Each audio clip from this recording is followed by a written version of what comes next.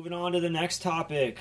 You know, what's next for Nate Diaz now? Like, you know, we talked about Leon. Now let's talk about Nate. Um, you know, he's got enough money to you know to take time off in between fights now. Um, you know, he makes big big paydays. And he, he takes time in between, and, and that's totally fine. I would probably do the same thing if, if I made a ton of money and like I would just take the time and chill out and Be and those, do all uh, that. satin, you know, satin sheets for sure. right.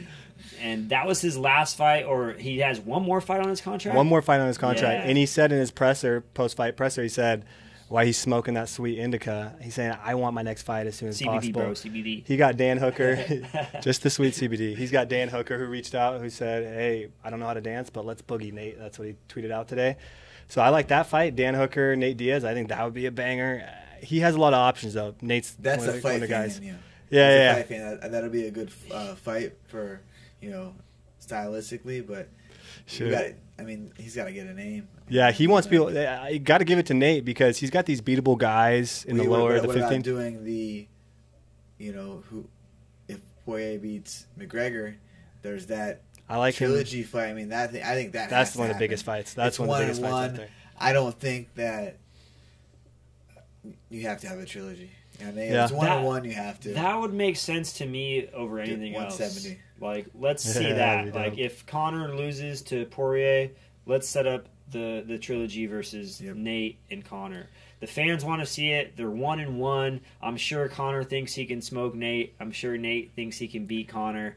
Um, Yeah. you know what I mean? Like, I'm I'm It'd all be in for big that one. fight. Oh yeah. I mean, let's do it. I mean, it's one and one. You know, it's it's a rubber match.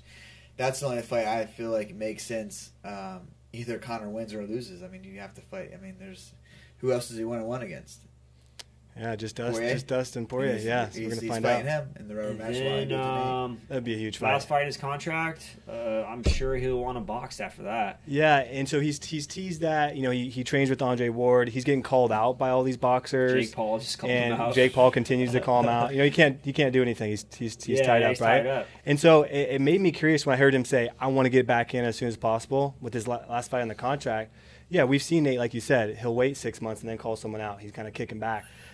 The fact that he wants to get in there and mix it up so soon, I feel like uh, does that show that a promotion reached out to him said, "Hey, we'll pay you Oh, for sure. twenty million That's for five fights." me. Can you imagine if Nate Diaz went to the PFL or Bellator or Showtime Boxing? What it would do for those promotions? It'd be absolutely absolutely huge. So I it's guarantee- interesting. Let's see Nate and bare knuckle. I don't know, That'd man. be He might sick. get cut up too easy. Yeah, the scar tissue. Yeah, that's true. but um, So we'll yeah, see. we'll, Yeah. we'll see what happens. One fight, I feel like he wants to get that fight out of his way, get signed to one of these boxing promotions, fight one of these dudes, get paid, Get a and- huge and- payday. Let's and go. uh, you know things will be on his terms after that.